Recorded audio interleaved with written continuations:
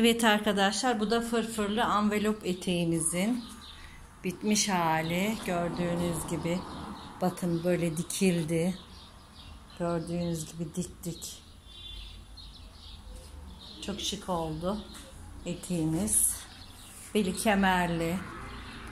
Bakın belinde kemer var.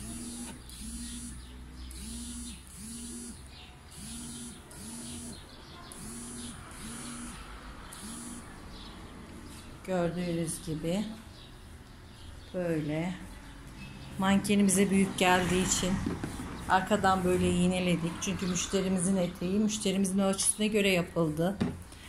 Fermuar diktik arkadaşlar. Bakın bu da fermuar detayı. Önce kemerini taktık. Sonra fermuarını diktik. Bu şekilde. Fırfırımız tekrar. Evet arkadaşlar siz de eteğimi beğendiyseniz kesip dikebilirsiniz. Sağlıkla kalın. Hoşça kalın.